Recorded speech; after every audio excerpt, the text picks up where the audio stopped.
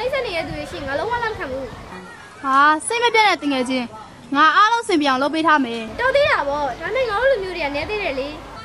တနေ့တလောက်လုပ်ပေးထားမယ်ဒီလူတယောက်ကိုနွားဆွဲတဲ့ထုံထုံကချစ်စစ်ထားရဆိုအေးလေ तू ကသူနာတကောင်နှိမ့်ဆက်တယ်လေအဲ့ဒါကြောင့်သူ့ရဲ့လက်ကွင်းတွေအားလုံးသူကိုယ်တိုင်ထုံးစေခြင်းနဲ့ဒါပေမဲ့သူကိုယ်တိုင်ထုံးနေဆို तू ကတေးကနီးပြီနေရမိုးစိုးတရားကိုပြစ်တယ်ဆိုဟုတ်တယ်ငါသူ့တနက်ကိုယူပြီးတော့သူ့ကိုတော်ရဲပြစ်ခိုင်းတယ်လေပြီးတော့ငါသူ့ရဲ့တင်မကိုတနက်နဲ့ပြစ်လိုက်တယ်လေ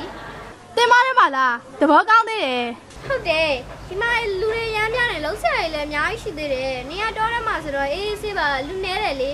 နေတော့တစ်ခါမပေးနိုင်တော့ဘူးပေါ့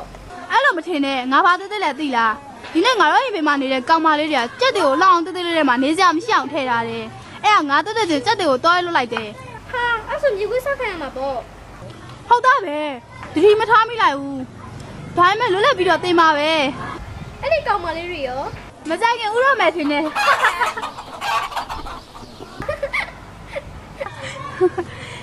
ဒါနဲ့စကားမဆက်ငါနေတော့နေတဲ့နေရာနာမှာဘာတွေ့သေးလဲသိလားမြင်းစီနေတဲ့ကောင်လေးတယောက် तू ကရှက်လည်းမရှက်ဘူးသိလားအဲ့ဒါတွေငါလုပ်ပြီးပြီ